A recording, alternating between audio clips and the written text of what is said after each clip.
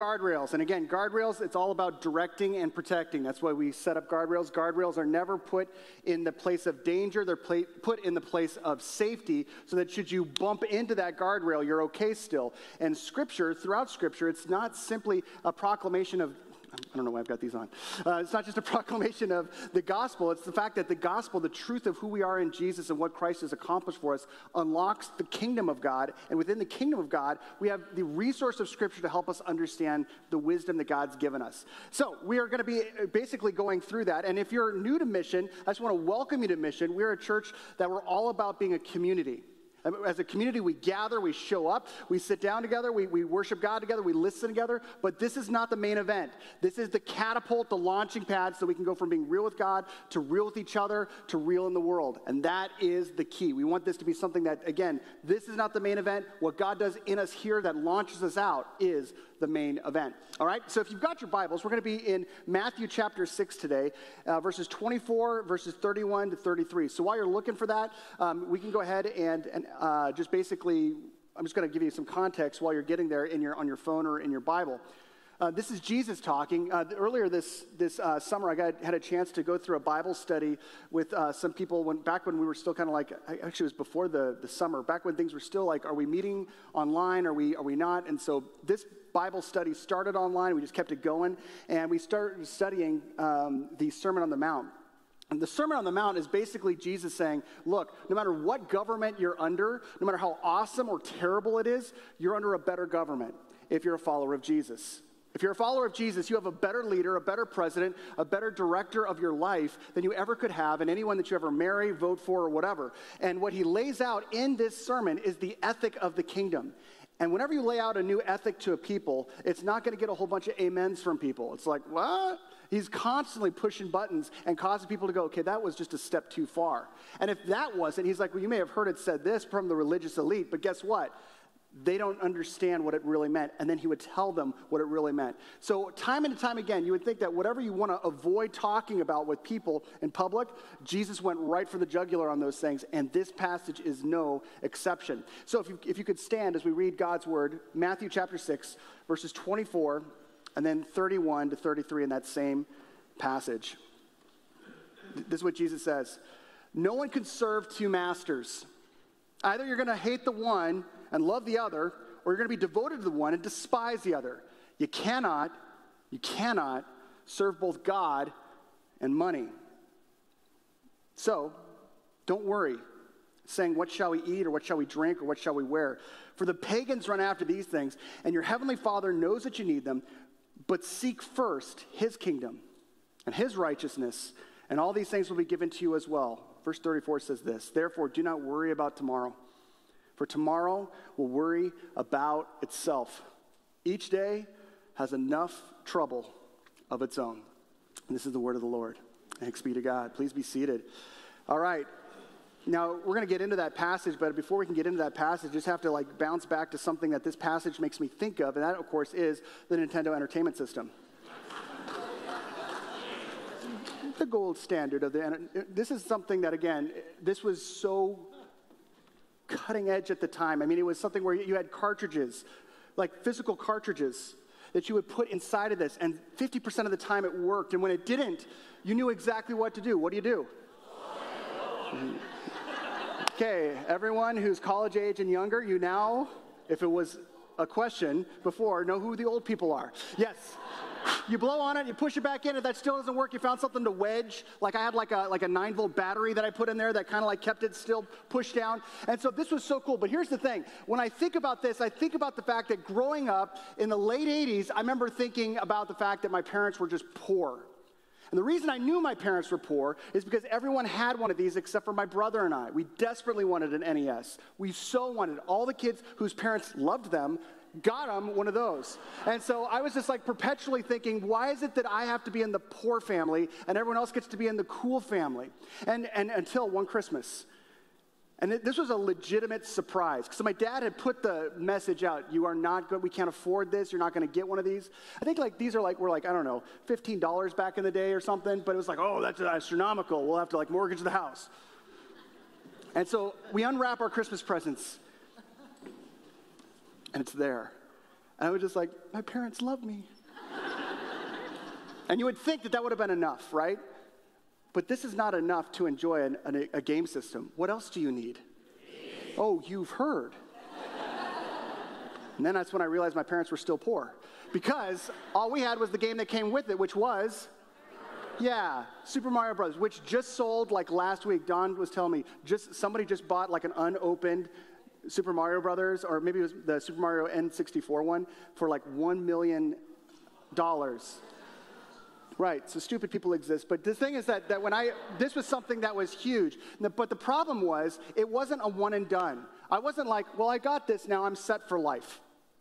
Game system wise, I'm done, right? I couldn't do that because as soon as I started finally accumulating the different games, oh, I finally got a Legend of Zelda. It's gold. I finally got this game and that game. All of a sudden, Sega comes out. And then after Sega, it was like Super Nintendo, and then the N64, and then the GameCube, and then the PlayStation 1, and it just kept on going and going. And all of a sudden, this thing that was, if I just had this, I'd be good, became mm, I, I really, that, that wasn't enough. But thankfully, I went to junior high and I got into high school, and all of a sudden I started wanting something other than a game system. What did I want? Not a computer. My dad wanted a computer because my dad's he nerds out on that stuff. I wanted a car, and so I wanted I wanted a, any car I could possibly get. This is not my car.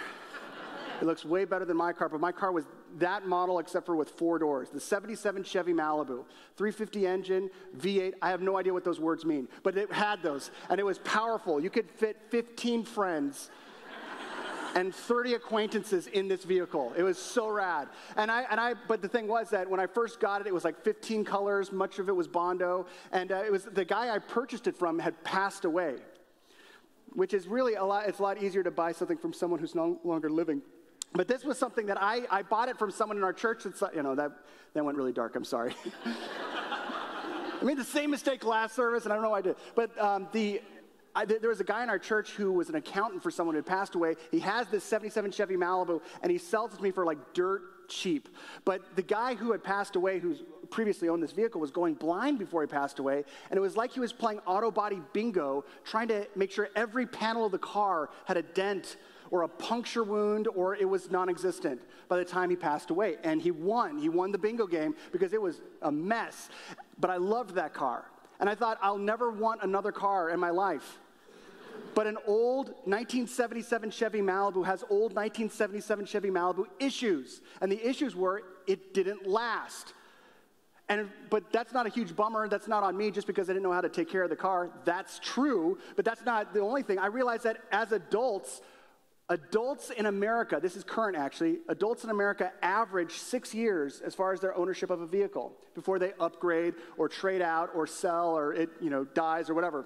And a lot of us, we have cars for a lot longer than that, right? But the truth is that I realize that there's a pattern in adulthood. People just keep on wanting a better car. And folks, I hate to tell it to you, but it's a matter of weeks before we start seeing commercials with snow and a driveway and you know where I'm going with this? There's a car with a massive ribbon on it.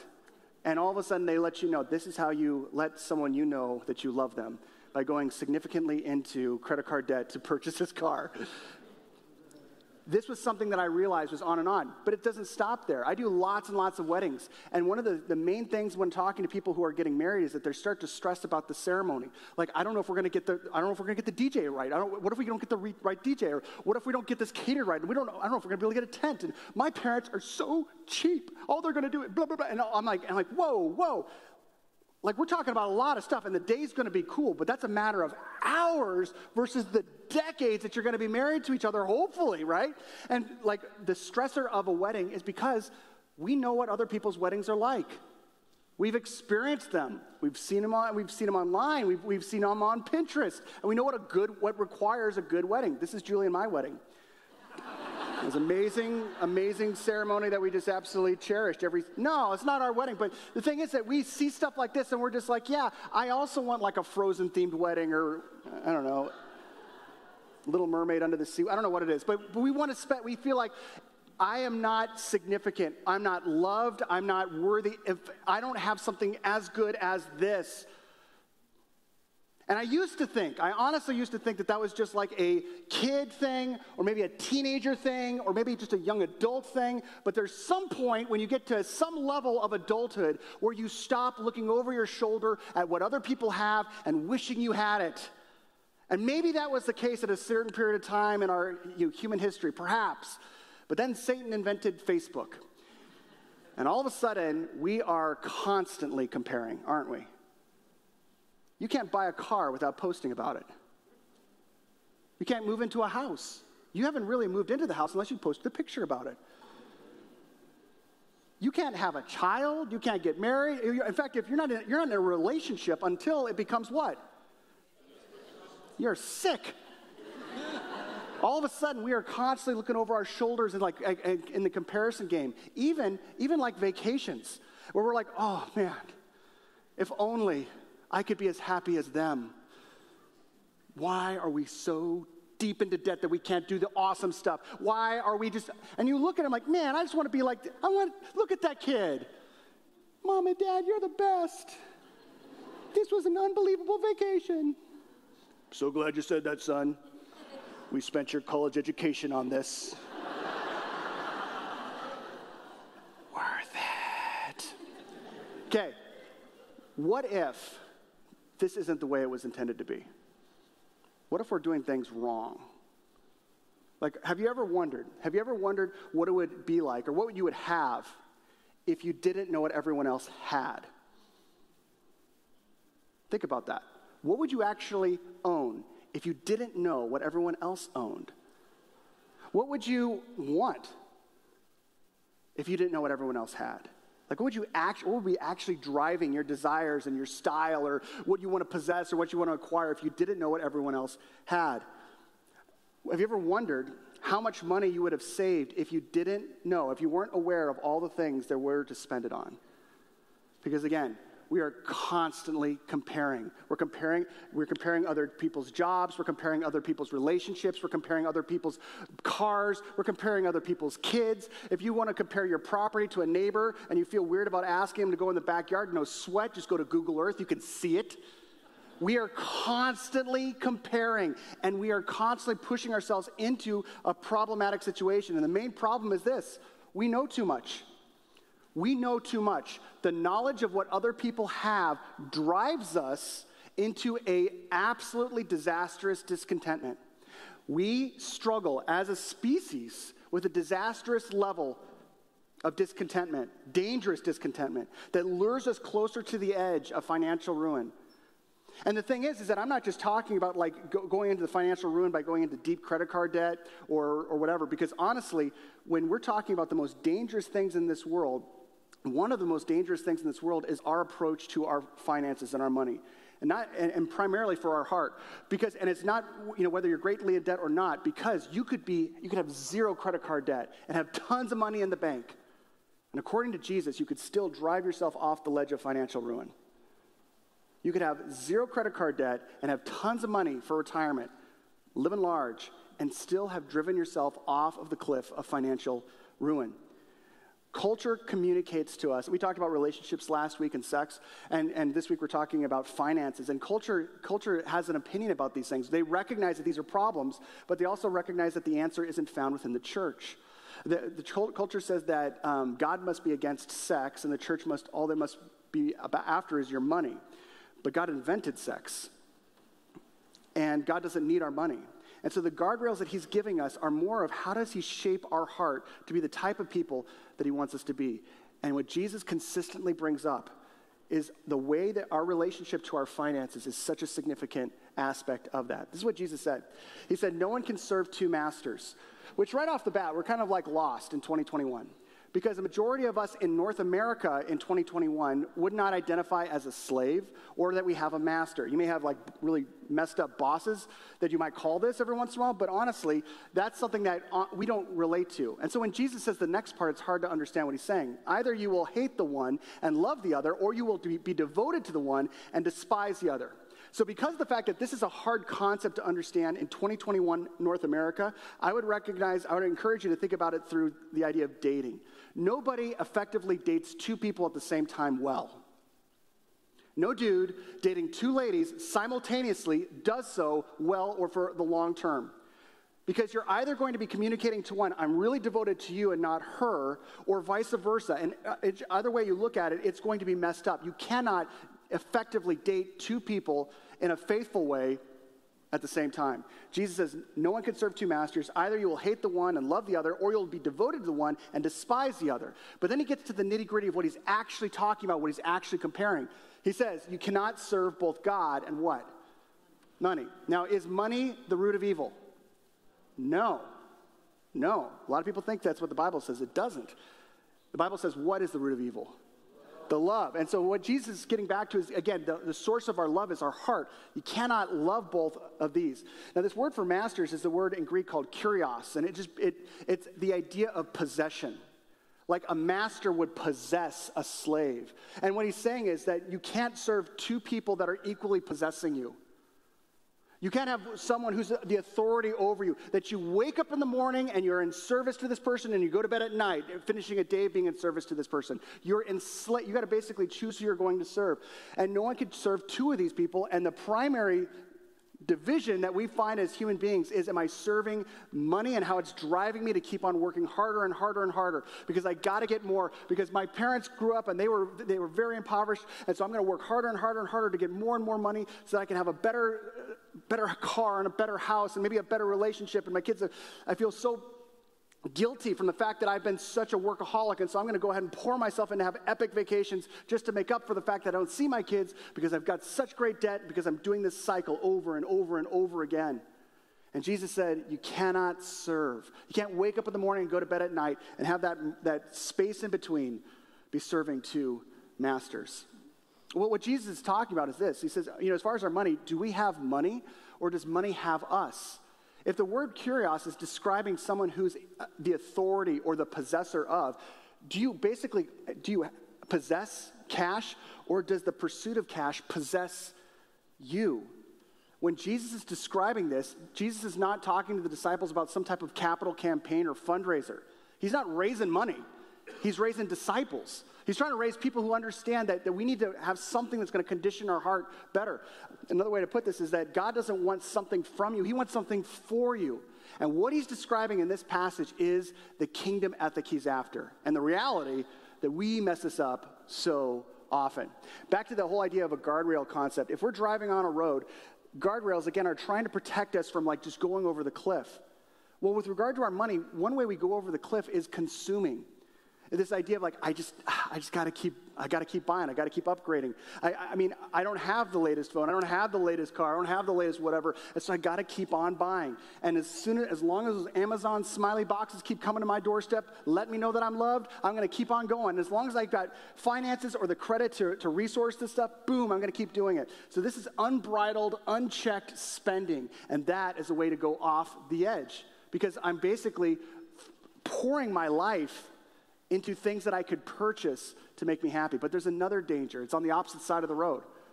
One side is consumerism, the other side is hoarding.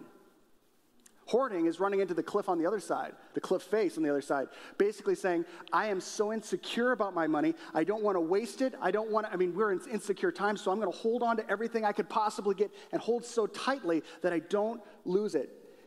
And the crazy thing about both of these things is that both guardrails are coming from an unchecked desire or unchecked fear.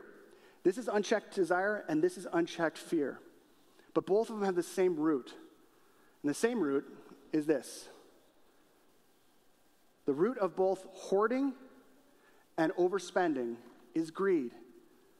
And a brief, awesome definition for greed, a good definition that I didn't come up with, but I wish I did, is this it's the assumption that it's all for my consumption. The assumption that it's all for my consumption. A lot of times when we, I mean, some of us, we get like paychecks, right? And we think, oh man, I got this. Or you get a job like upgrade or promotion, like sweet, and you're thinking about all the ways you can spend this money. It's like people like, uh, some of you, when we, at Christmas time, and you get like an Amazon gift card and you're opening it, and everyone's opening presents. And before like everyone else has opened presents, you've already logged on to Amazon, you've already purchased your presents because you're like, oh, yes, right? Some of us do that. Am I the only one? All right. Greed is the assumption that it's all for my consumption. It's all about me. And the way that we spend actually like nurtures this. It actually encourages this to basically go, sweet, I'm getting this much money because I worked this hard, and you better believe it, I'm going to spend this paycheck on me because I what? Deserve it. And every commercial is going to back you up. Man, you live a hard life. You live with hard people. You deserve a vacation. You deserve this car. You deserve this brand of toothpaste. And we keep on nurturing that concept, and it's all about greed. And what we are effectively doing, regardless of whether or not you believe in God, is we are practicing practical atheism. I believe in God, but my lifestyle is an atheistic lifestyle. I'm living as if there is no God. No, I believe in Him, but that has no bearing on my life decisions. And every single person in this room cannot get through a day without your finances dictating your decisions. We all spend money, all of us, every single day. Every single day we have a relationship with that. And what we end up doing is we end up like running ourselves right off the road or right into a wall as far as our finances, and we, and we wonder, why, how did this happen? How did I get myself deep, this deep in the hole? How did I, how did I alienate, so, alienate so many people in my life away from me because I just held onto my cash so tightly that I didn't invest in any relationships around me? And the generosity I have is ankle deep. And then all of a sudden we run into a brick wall and we go, man, now I need God. When we've been living practically atheistic, we believe in God, our beliefs are right, but it's not fleshed into our everyday reality. And this passage, I mean, has Jesus looking right back at us and saying, Listen, you chose the wrong master. You chose to be mastered by your resources, to let them lead you, rather than you, with God's being directed by God, leading them. One uh, theologian, Chad Bird, put it this way God's judgment often shows up in us getting exactly what we want. God's judgment often shows up in us getting exactly what we want and suffering the consequences of it. Sometimes we can get everything we want. We pursue the American dream hardcore, and we actually get it. We're actually living better than our parents, and we're feeling like, yes, I got the truck, or I got the house, or I got the vacation, and we're like, yeah. And then we get to the end of the point of, of feeling the end of that. And, and uh, let me just, high schoolers, college students, junior hires, we, all of us in this room, grew up believing that it would make us happy and we pursued it. And the reason that old people look bummed out is because we realize it's a lie, but we don't know what to do about it. That's God's judgment. God's judgment often shows up in us getting exactly what we want and suffering the consequences of it. See, what sounds smart actually is, is, is the, the recipe for our disaster. We're, the world will say this, but this is actually how we get mastered by money. The world says, okay, you go, need to, as far as your paycheck goes, you go need to take your portion of what you need to live. You know, you're paying the mortgage, you're paying the car payment, your, you know, college payment or whatever. You're, you're, uh, you're basically living this, whatever it takes to go out to eat, movies, uh, whatever entertainment stuff you've got, all the things that you're subscribed to online, boom, and some, it's a lot more than you probably think that you're subscribed to, but it's there. That all comes out of this. And then what we say is like, well, hey, you know what? I don't want to be a dumb, you know, human being in 2021. I'm going to go ahead and save some. And so I try to make sure that I'm making a provision for savings. So I'm going to take, if I've got left over, sometimes I don't, but if I do, I'm going to go ahead and put some into savings. And we feel pretty good about ourselves. Now, if you're an extra credit human, then what you do is you're like, I'm a nice person. There's needs in this world. I'm going to be someone who is giving. I'm going to give to the church, or I'm going to give to some like uh, some type of humanitarian effort because I'm not a terrible person. I'm not Ebenezer Scrooge. I'm not hoarding it all for me. And so, yeah, I can give like you know, like a half of a percent of my income here because I'm good. This is a problem because what we end up doing, every single, you don't need to be a Christian or non Christian for this. Every single human that does this is that this number one always is number one. And what's number one is the lifestyle that I've set for myself. So I've got a lot that pours into this because I've got a huge house, or I've got a lot that pours into this because I've got a car that I couldn't afford, or I've got a lot that I'm pouring into this because I'm choosing a lifestyle that's just, it's just stinking expensive, and it just is what it is. And so I don't have a lot to save, but I'm going to try to save because I know that I probably need to do that. And then I get to the end of the month and I'm like, there's nothing at the end of my paycheck. But one day, if I work hard enough, I'll have more money. And I'll be more generous if I have more money. And that doesn't happen. That's how you're mastered by money. Scripture lays out a different perspective, which is to be mastering the money that God's given you, to recognize that it's from Him. And actually, it starts with prioritizing Him and like the generosity that's within Him. This is so cool because if we actually start with, okay, I get my paycheck and I'm going to give, I'm going to be, a, I'm going to pour into the kingdom work that Jesus has called me into. That means that if you're single, you're praying about what is it that I should be giving to. If you're a married couple, you, you, you pray about that. Uh, what, what should we be giving to? And, and I believe that a primary place for that is the church, but it's not just the church. It's like other things that are happening too, that God can unlock this generosity in you, and you prioritize this, you budget for this, and you do it sacrificially. And then you, are smart. You're not a dumb 2021 person. And so you, you actually are intentionally trying to set aside savings. And you make sure that you do so in such a way that you're still giving a provision to pay the bills. But you're also making decisions about what can I afford and what can I not afford. If I'm primarily a generous person and someone who's saving for the future, what is it that I maybe need to nix for my lifestyle? What can I live without? And that is an amazingly good question that a lot of Americans don't ask. What can I live without? We ask instead, What do I deserve? And we're incredibly unhappy. Jesus models a way that we actually do something radically different than what we oftentimes do. I hope that my kids see this in Julie and I. I hope my kids see that my parents don't have like a gazillion dollars, they're not rolling large. But I know that my parents, with what they have, and that they're, they're grateful for it, they're not a billionaire, but they're grateful for what they have. And what they try to do is to prioritize those funds by giving first to Jesus' work. That we're giving first to the work that, that's around us. I hope my kids see that and recognize that when they become, when they're starting getting paid in high school and into college and, in, and into adulthood, that they start seeing that's something that I want to do too. I want that to be the driving force in my life. The, gen- the generosity that I get a chance to live out gets to be conditioned every single month that I get paid. So that they could be this type of a person the type of person that Jesus is calling us to be. Again, back to what he said. He says, No one can serve two masters. Either you'll hate the one and you're going to love the other, or you're going to be devoted to the one and despise the other. You can't serve both God and money. And then he says, So do not worry, saying, What shall we eat? Or what shall we drink? Or what shall we wear? Jesus is absolutely aware of the fact that our first mind is going to go to the idea of the fact that we're not going to have enough. If we actually are as generous as God is calling us to be, we won't have enough for ourselves.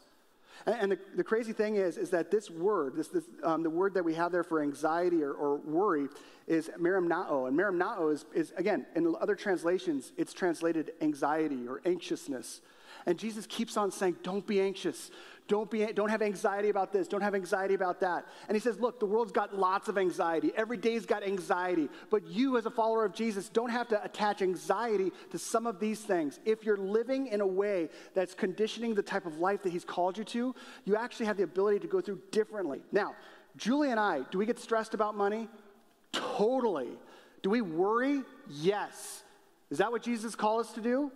No. And so, as a Christian, what I get a chance to do is say, okay, we're failing in this because we, we're nervous. That's what humans do. But we have Jesus saying, don't. Don't do that. Don't do that. What shall we eat? What shall we drink? Or what shall we wear? What am I going to be provided for? And then he qualifies it. He says, look, for the pagans run after these things. Look, in, in the pagan world, they believed in gods and goddesses. They believed that they were there and they had like some type of bearing on life. But what they didn't have was a personal relationship where they actually cared about you. They could give a rip about you. But that's not the way that God is. Jesus says, and your heavenly Father knows that you need them. The pagans are worshiping gods who don't care, don't know what you're going through but your Heavenly Father does. In other words, you can trust Him. You can trust Him with every aspect of your life. He pivots and he says, but. So in, instead of, instead of this leaning into anxiety about our finances, or leaning into overspending with our finances, or leaning into hoarding and keeping it all safe and secure, our finances, instead, do this seek first. Instead, prioritize. Make a primary step of this. Seek first his kingdom and his righteousness. Seek first that. Make that a priority in your decisions, in your financial decisions. Make that a priority in your availability of time decisions. You want to know why life sometimes is so off? Is that we don't align it with the way that Jesus has called us into. We haven't let the gospel, act, the good news of what Jesus did in us, express outward to us in our decisions. Now, his disciples, Jesus' disciples, were arguing one time about like power control and stuff. And Jesus wanted to bat home this idea of if you want to know what the example for all of this is, look at me. He says this. In Mark, he says, You know that those who are regarded as rulers over the Gentiles lord it over them. So he's talking about the Roman Empire. These guys are awesome. They're logistically brilliant, military minded. They know how to take over a country like nobody's business. They can occupy with the best of the occupiers. And they use that authority abusively. You know how that happens? Jesus is asking. He says, and their high officials exercise authority over them. In other words, they recognize that all this power is all about me, it's all about me. Not so with you. Our life is not about pursuing me. It's not about pursuing my wishes, my desires, not in, my, not in Christ's kingdom. Jesus says, instead, whoever wants to become great among you must, be your, must become your servant. And whoever, and, what, and whoever wants to, wants, wants to be the first must be a slave of all. For even the Son of Man did not come to be served, but to serve, and to give his life as a what? That's a financial term. It's a financial term, and, and it's, a, it's a hostage term.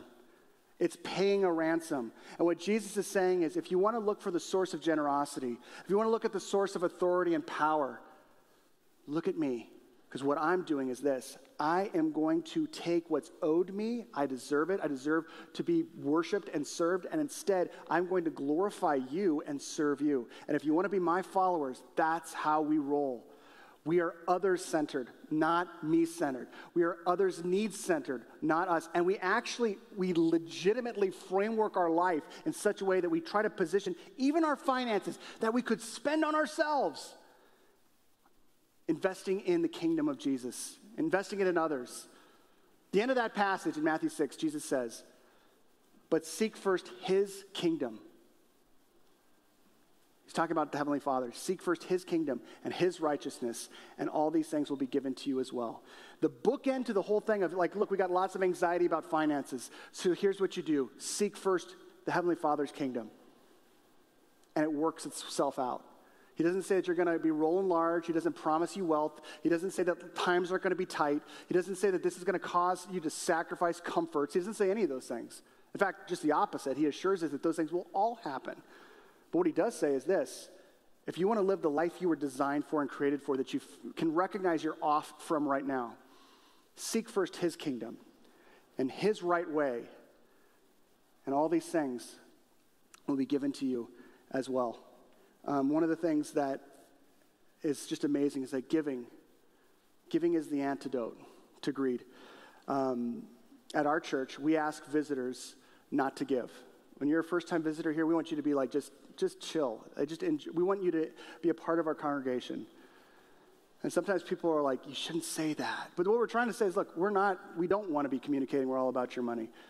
But for anyone who's a regular attender, who we want to see their heart shaped into the type of heart that God wants, Jesus was clear on how that looked.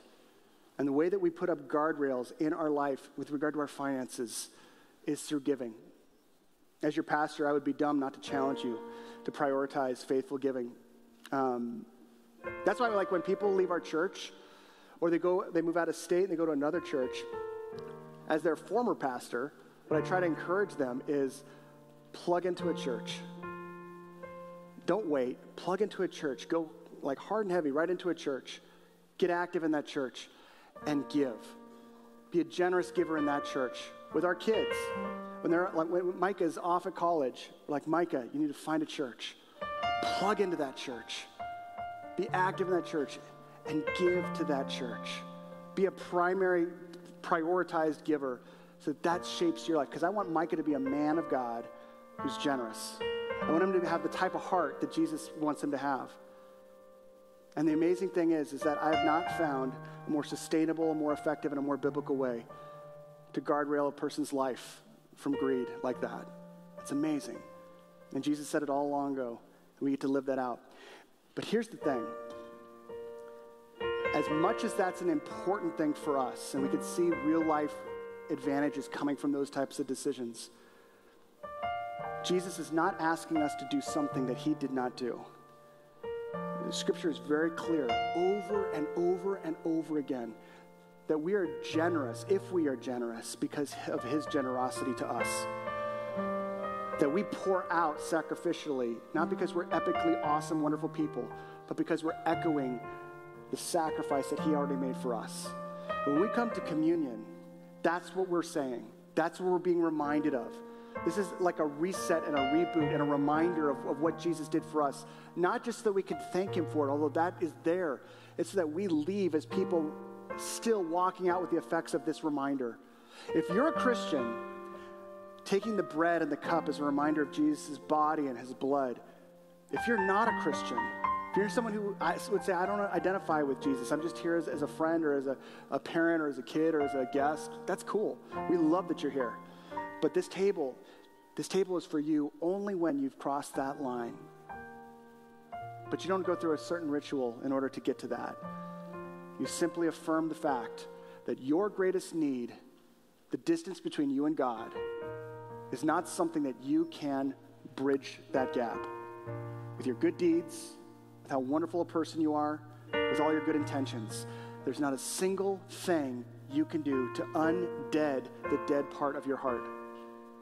But the only one who could was Jesus. And he did so out of love for you. So when we take the Lord's Supper, we're celebrating that. And if that's your affirmation, this is for you. Even if this is the very first moment that you're affirming the reality of what Jesus did on the cross, giving his body and his blood for you, and rising from the grave, not just that you can catch up with him in heaven, but you can walk from this moment till then alongside him. This table is for you, anyone who makes that affirmation. So, here in just a moment, we're going to have you exit on your left hand side, and then you can go to whichever table is closest to you in the front and the back. Folks in the atrium, we, have got stuff for you there as well, uh, at least the, in the back here. Um, and then return to your seat with the bread and the cup, and spend a few moments just in reflection. Where is, where is my heart? I know what Jesus has done for me. Where is my heart in connection to Him? Am I living as a practical atheist, even though I affirm who Jesus is? and spend time in confession. Repent, and He will hear you. And you will experience the rejuvenation of that. And then we'll take the bread and the cup in just a moment. So go ahead right now, all the believers. Exit your rows on the left hand side, go to the nearest table, take the elements back to your seat with you on the right hand side, and then we'll take them in just a moment.